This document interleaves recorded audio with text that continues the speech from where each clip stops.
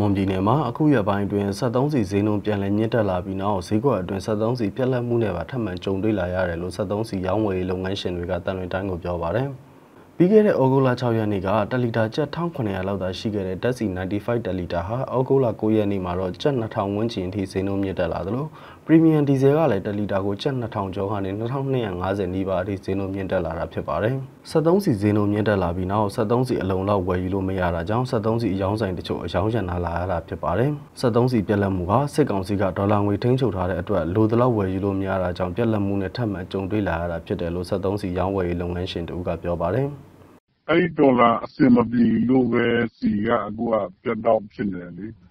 ပြတ်တယ်ဆိုတော့အခုက အော်ရာတင်ထားတဲ့အတိုင်းကစီကမရဘူးပေါ့နော် နောက်ဆိုတစ်ခါလေကျတော့ အဲ့လိုမျိုး ရက်တွေကြာသွားတာ ဆိုင်မှာစီပြတ်တာ ကြုံရတာပေါ့လေ အဲ့ဒီဒေါ်လာကြောက်ပဲအာစီကတော့ ရောက်လာလို့ရှိရင် ဒေါ်လာပေးမှစီက ချလို့ရမှာဟုတ်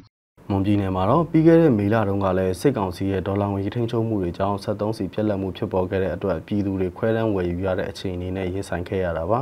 73စီရောင်းဝယ်ရေးလုပ်ငန်းရှင်တွေအဆိုအရ73စီကစစ်ကောင်စီကသတ်မှတ်ထားတဲ့ဒေါ်လာပေါက်စီအတိုင်းပြင်ပမှာဝယ်ယူလို့မရတာစစ်ကောင်စီကချပေးတဲ့73စီတွေကိုစောင့်ဆိုင်းဝယ်ယူနေရတာကြောင့်ပြက်လက်မှုတွေဖြစ်ပေါ်လာတယ်လို့ဆိုကြပါတယ် အာနာသိန်းစစ်ကောင်စာဗိုလ်ချုပ်မှုကြီးမင်းအောင်လှိုင်ကတော့ဈေးကွက်အတွင်း73စီလိုအပ်ချက်တွေမြင်မာနေတဲ့အချိန်မှာပဲပြည်ပကနေတင်သွင်းနေရတဲ့ရေနံနဲ့ရေထွက်ပစ္စည်းတွေကိုရှော့ချသွားမယ်လို့အော်ဂိုလာ10ရက်နေ့မှာပြောဆိုလာတာပါ73စီရောင်းဝယ်ရေးလုပ်ငန်းရှင်တွေကတော့ဈေးကွက်လိုအပ်ချက်ကိုမဖြည့်ဆည်းနိုင်ပဲ73စီတင်သွင်းမှုကိုရှော့ချလာပါက73စီပြက်လက်မှုနဲ့ပုံမှုရင်ဆိုင်လာရနိုင်တယ်လို့သုံးသပ်ထားပါတယ်မြန်မာနိုင်ငံက73စီလိုအပ်ချက်ရဲ့10ရာခိုင်နှုန်းလောက်ကိုပြည်တွင်းကနေထုတ်လုပ်နိုင်တာဖြစ်ပြီးကျန်90ရာခိုင်နှုန်းနီးပါးကိုပြည်ပကနေတင်သွင်းအသုံးပြုနေရတာဖြစ်ပါတယ် ဒါပေမဲ့73စီဈေးနှုန်းဟာစစ်တပ်အာဏာသိမ်းပြီးနောက်3ဆနီးပါးဈေးနှုန်းမြင့်တက်လာသလိုမကြာခဏပြက်လက်မှုနဲ့ကြုံတွေ့နေရတာပါ။